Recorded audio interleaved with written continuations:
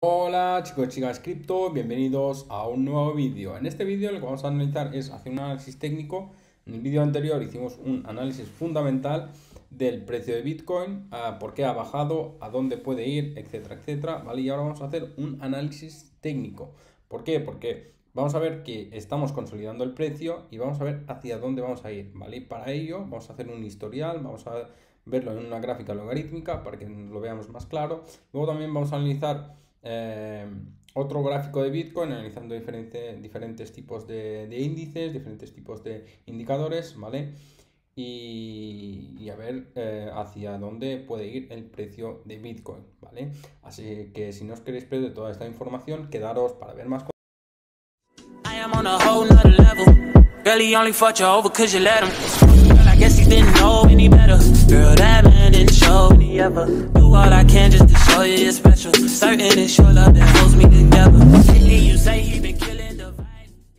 Bueno, pues empecemos.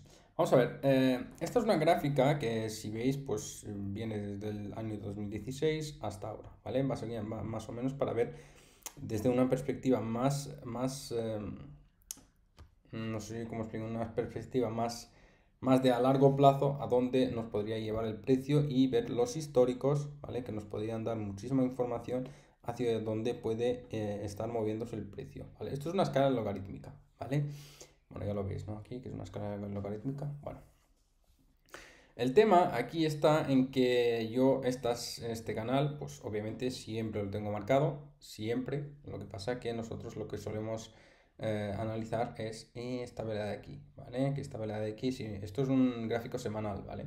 Si nos vamos a un gráfico de 4 horas, pues esta vela se divide en no sé cuántas velas, ¿vale? Básicamente una semana, cuántas horas hay en una semana dividido por 4 horas, ya veréis por cuántas velas va, va a dividirse esta vela, ¿vale? Bueno, el tema es que llevamos muchísimo tiempo, concretamente desde el, a septiembre de 2018 hasta justo ahora en febrero de 2021, ¿vale? Que acabamos de salir de este canal, ¿vale? Fijaros, esto es un, esto es un soporte, ¿vale? Que aquí hubo una falsa ruptura, ¿vale? Pero hemos vuelto dentro, ¿vale? Y ahora hemos tenido este rally tan alcista, ¿vale? Que lo íbamos haciendo desde octubre hasta enero, ¿vale? Este rally tan alcista. Y una vez hemos tocado el soporte, hemos tenido esta consolidación, esta esta corrección del precio, que mucha gente pues ya lo habrá visto que ha bajado hasta los 20, a los 32 eh, mil dólares, desde los 40 hasta los 32 o 30 mil dólares. Fue esta la corrección, ¿vale? Y a partir de aquí, pues tuvimos el rally alcista hasta los 58 mil dólares, ¿vale? Y es en este punto en el que hemos perforado esta resistencia, ¿vale? Que nos ha empujado el precio. Pero, fijaros, en el historial, ¿vale? En el punto en que Bitcoin rompió este canal fue en, en, 2017, ¿vale? Fijaros que más o menos hizo lo mismo, ¿vale? Hemos estado por, eh, eh, moviéndonos en lateral por, encima de este, de este soporte, ¿vale? Hemos estado moviéndonos por este soporte, un rally alcista, un rally alcista, una vez hemos tocado una corrección, consolidación, una vez hemos tocado consolidación, corrección y volvemos a subir rompiendo la resistencia y volvemos a subir rompiendo la resistencia. Pero aquí está la clave, que estamos en esta consolidación ahora, en esta recuperación del precio, ¿vale? Estamos aquí, ¿vale? ¿Y qué pasó aquí? Pues vamos a ver, para, que la gente que no se asuste si baja un 40% Bitcoin, ¿vale? Porque fijaros, así a simple vista, pues mucha gente podría pensar que ha bajado un 3%, pero no. Fijaros, porque esto es un gráfico semanal y encima logarítmico, ¿vale? Si nosotros lo vamos a hacer, es un 36%, es más, no lo estoy, no lo estoy, no lo estoy midiendo bien. Eh, lo voy a medir desde la mecha, que es a donde debería de medirlo, hasta aquí abajo. Fijaros, 40% ha bajado, ¿vale? Ha bajado un 40% antes de hacer el último estirón, que fue, bueno, como todos lo sabéis, los, los famosos 20 mil dólares del 2017, ¿vale? Bueno, pues vamos a ver eh, en qué punto estamos ahora mismo, ¿vale? Fijaros, ¿cuánto hemos bajado aquí? Suponiendo que se va a repetir lo mismo que pasó en 2017, ¿vale?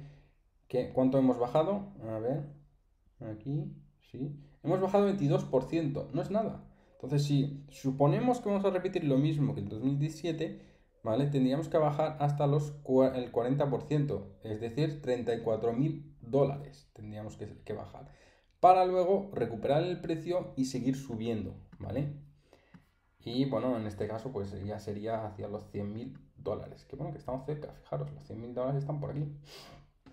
Estamos cerca, estamos cerca, ¿vale? Pero bueno, si, lo, si suponemos, si estamos suponiendo que, que va a subir, va a subir Bitcoin, igual que en 2017, vamos a mirarlo, 445% lo que ha subido desde, desde ese estirón. Pues 445, vamos a verlo desde aquí, 445, bueno, más o menos, ¿eh? Pues serían los 241 mil dólares, ¿vale? Ya os digo, yo estoy en el target de 100 mil dólares, no, no, estoy en los 240 mil, pero bueno, ya lo ves que el análisis técnico va por ahí. Por eso mismo, cuando veis alguna noticia de algún banco que, o de alguna institución, algún broker, algún economista, bueno, famoso, que dice, hostia, mi predicción, 300 mil dólares. No solo saca de la manga, no solo inventa, sino que hace su análisis técnico y mira por dónde va el mercado. Ya lo veis aquí mismo, ¿vale? Pero bueno, eh, tenemos en cuenta esto, ¿vale? Muy importante. Ahora vamos a analizar pues, lo típico de siempre, que son los gráficos diarios o los de 4 horas, que son los más interesantes, ¿vale? Así que si nos ponemos aquí, quitamos el, la escala logarítmica y nos vamos a un gráfico de 4 horas, Vale. Vale. A ver. Vamos al gráfico de 4 horas y fijaros que estamos haciendo una consolidación del precio. ¿Vale? Eh, a ver, ¿cómo lo vamos a...? A ver, sí, una consolidación del precio. Fijaros que si yo, vamos a ver, si yo lo hago así chiquitito, veréis que aquí hemos marcado un banderín alcista, ¿vale? Y que se, que se ha es que el banderín alcista, ahora, perdonad, voy a eliminar esto, vale, ahora. Banderín alcista es desde este punto, ¿vale? Hasta aquí. Si nos fijamos, lo ha respetado perfectamente. De hecho, bueno, yo lo tengo marcado aquí. Lo ha respetado perfectamente, ¿vale? Así que, suponiendo, fijaros que se parece muchísimo este movimiento a este de aquí, se parece muchísimo, ¿vale? Aquí una pequeña consolidación, una subida y hemos estado aquí jugando, pa, pa, pa, hemos bajado más o menos fue un 40%, si no recuerdo mal. No, un 28%, ¿vale? Y aquí ya os digo, estoy esperando una bajada del 40%, ¿vale? Sea, los 34 mil dólares. Lo dudo mucho, aquí llegamos con 34 mil dólares, sería un bajón increíble. Yo más o menos estaría por este, este soporte de aquí, que son los 41 mil dólares, ¿vale? Pero si en el caso que estemos aquí formando un banderín alcista, ¿vale? Fijaros, supongamos así, a grosso modo, ¿vale? Que el banderín alcista se vaya a formar de esta manera, ¿vale? Ya os digo, no está formado como para, para analizarlo, pero supongamos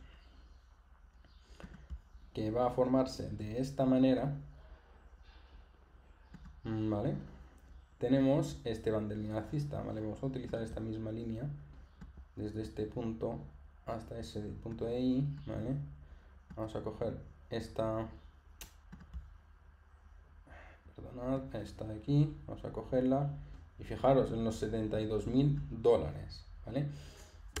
Eh, que no os parezca raro que en un gráfico semanal salga un target y luego un gráfico diario, porque son gráficos distintos. Eso es una gráfica logarítmica, eh, esto es una gráfica lineal, son distintas, ¿vale?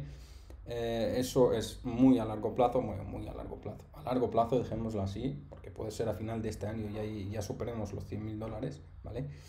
Y, esto es un gráfico mm, de 4 horas, un gráfico de 4 horas que nos podría dar pues targets mm, a, corto, a corto medio plazo, ¿vale? Así que así está la cosa, ¿vale? Ahora me gustaría también eh, analizar una los bueno, primero vamos a hacer analizar las medidas móviles exponenciales que son muy interesantes, ¿vale? Porque si os fijáis vosotros aquí en las medidas móviles exponenciales, eh, fijaros, desde el punto que nosotros las hemos roto, ¿vale? cada vez que las hemos intentado perforar no hemos podido, hemos sido rechazados todo el rato, hemos sido rechazados, ¿vale? Y esto es muy mala señal, esto es una señal muy bajista, ¿vale? Por eso, por eso estoy, estoy teniendo targets de 41 mil dólares o algo así, ¿vale? Esto es muy bajista, ¿vale? Y por ejemplo, vamos a eliminar las exponenciales, ¿vale? Vamos a hacer medias móviles simples. No, perdonad. Medias móviles simples.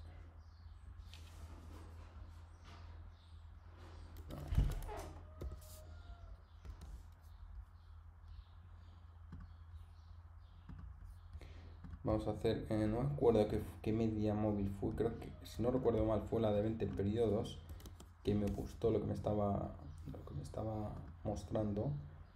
Mm, sí, creo que fue la de 20 periodos, ¿vale? Dejadme que os lo ponga un poquito más, que se vea mejor, ¿vale? Vale, fijaros que la media móvil de 20 periodos, desde que la rompimos, también hemos estado siendo rechazados, ¿vale? nos vamos a una media móvil de 50, no, esto no tiene ningún sentido. Vamos a la media móvil de... No, fue la de 20 periodos. Sí, sí, fue la de 20 periodos perfectamente. ¿Vale? Eso está aquí. Fijaros, desde el punto que nosotros eh, vayamos a romper esta media móvil o mm, las medias móviles exponenciales, ¿vale? esta o la media, media móvil eh, simple, ¿vale? Ahí sí que veríamos un precio, un rally bastante alcista de Bitcoin, ¿vale? Pero en este caso, teniendo en cuenta esto, pues no, ¿vale? Siempre que estemos por debajo de las medias móviles exponenciales o de la media móvil de 20 periodos simple, ¿vale? Estaremos en un mercado bajista, ¿vale? En un mercado, entre comillas, bajista, ¿vale? Porque sigue siendo alcista. El tema es que, bueno, estamos teniendo una corrección. Así que estad muy atentos a la media móvil, en media móvil simple de 20 periodos y las medias móviles exponenciales que están, son muy interesantes, ¿vale? Y, bueno, también en cuanto a lo que sería el análisis fundamental, tenéis que saber que en el vídeo anterior ya comenté la, la, venta, la compra de MicroStrategy, que empezó a comprar durante una semana 2.000 dólares eh, en Bitcoin por cada segundo, ¿vale? Durante una semana, que fueron un millón y pico de, dólares, ¿vale? Pues ya, pues ya acabó su, su, compra, ¿vale? Ya finiquitó su compra, la acabó, compró todos los bitcoins que quería y de hecho ahora está, pues, a ver, vamos a ver cuánto bitcoin está teniendo ahora MicroStrategy.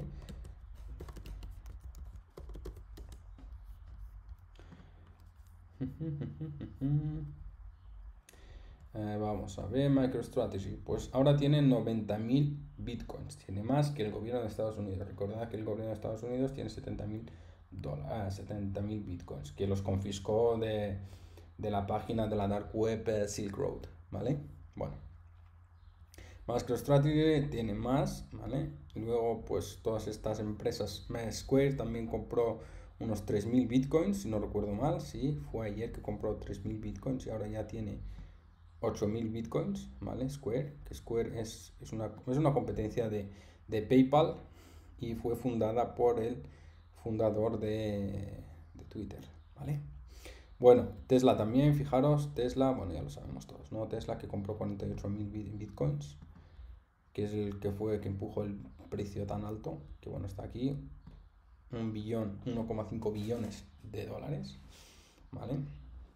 Eh, luego, pues todas estas empresas en total suman un 6,42% del Bitcoin que va a estar en circulación, no el que está en circulación ahora, no, el total que va a estar en circulación, o sea, el 6,42% eh, respecto a los 21 millones que van a estar en circulación, ¿vale? Así que está, está así la cosa, ¿vale? Está así la cosa.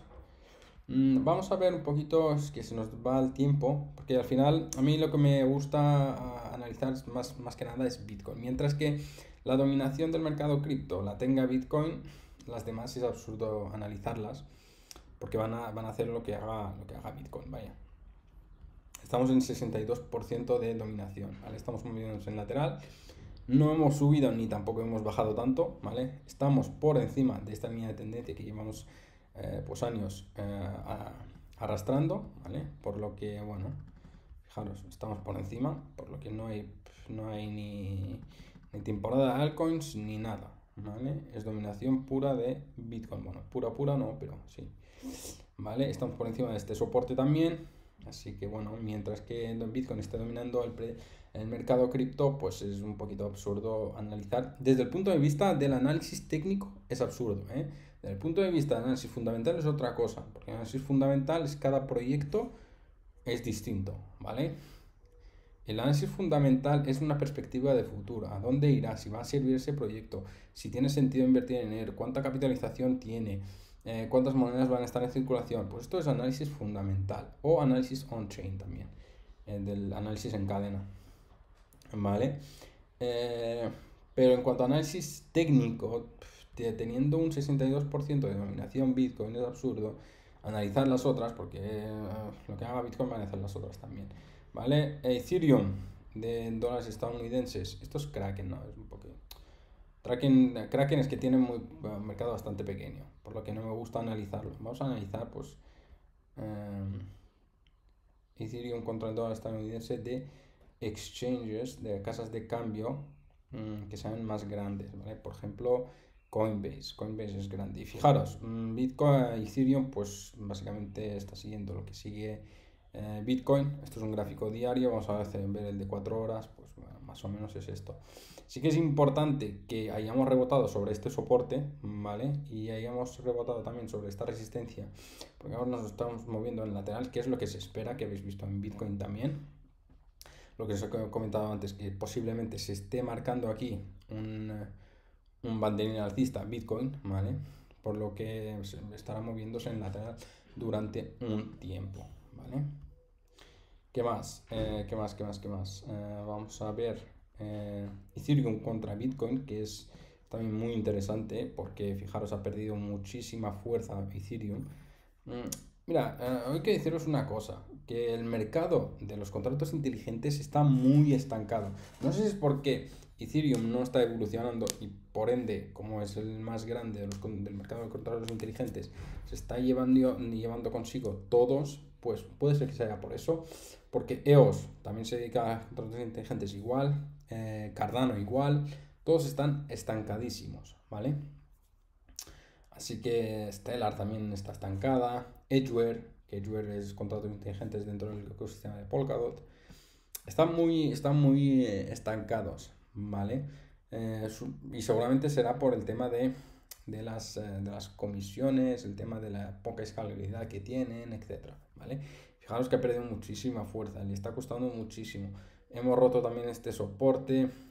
Esto, esto está muy bien. Em, ah, perdona, sí, este soporte. Esto está muy bien que hayamos rebotado sobre este soporte. Y, ya, esto es malo que hayamos eh, que no, eh, no, hayamos podido eh, romper o perforar esta resistencia, ¿vale? Por lo que seguimos aquí dentro. El punto que nosotros podamos romper esta resistencia ¿vale? Esto es que será muy bueno para, para Ethereum. Fijaros en este punto, que acabamos de romper, nos hemos venido un poquito en lateral, pero fijaros la pedazo subidota que ha tenido, ¿vale? Así que más o menos estoy esperando que Ethereum haga eso una vez solucionado el tema de la escalabilidad, que bueno, que está en ello. ¿eh? Está, Ethereum está trabajando siempre, por eso yo sigo apostando en él. En el día que dejen de trabajar, pues ya será otra cosa. Pero Ethereum pues tiene muchísima comunidad, tiene muchísimos desarrolladores detrás por lo que no hay por qué preocuparse, simplemente pues están un poquito estancados, ¿vale? Nada más, eh, bueno, el tema del Diamond Pattern, que esto creo que solo lo publiqué en, Instagram, nos falló, nos falló muchísimo, ¿vale? Mm, eh, ya, ya os digo, en y más en el mercado cripto, no todos los patrones se cumplen a la perfección. Un Diamond Pattern que encontremos eh, hace pues ya varios meses, en este canal mm, sí que se cumplió perfectamente, pero este, por lo visto, no. Y bueno, ya lo sabéis por en el vídeo anterior, por los fundamentales, tanto de la Janet Yellen, eh, Janet Yellen de la tesorera de los Estados Unidos, como de Peter Schiff, del broker que es amante del oro, ¿vale? Que bueno, ahí hubieron una venta masiva, como ya habéis visto en los... Eh, en el en el vídeo anterior, en los, en los análisis fundamentales de análisis de, en cadena, que pues, ha habido muchísimo flujo de capital hacia las casas de cambio y, por ende pues luego hacia Bitcoin, ¿vale? Bueno, si queréis, vamos a hacer una cosa, ¿vale? Para que vosotros también lo veáis.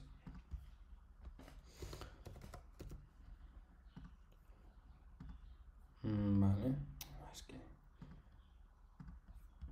Bueno, a ver, ¿cómo vamos a hacerlo? Primero, quiero que sean velas. Bueno, el tema aquí está, eh, es que se me va el tiempo. El tema aquí está es que mientras que Bitcoin estaba cayendo, el, oro estaba aumentando de valor, ¿vale? Por lo que se puede intuir que muchísimo de ese flujo de capital que se, se puso en, las casas de cambio eh, ha ido hacia el oro, ¿vale? Y eso pues intuyo que fue por, por los comentarios de Peter Schiff, ¿vale? Y bueno, nada más, si os ha gustado este vídeo, pues me lo dejáis saber aquí en comentarios, aquí abajo dadme un like si os ha gustado el vídeo, ¿vale? Dejadme algún comentario si tenéis alguna duda, alguna pregunta o lo que sea, ¿vale? Compartido con vuestros amigos para que toda esta información llegue a todo el mundo. Eh, darle a la campanita, obviamente suscribiros al canal para no perderos más contenido y nada más, nos vemos en el próximo vídeo.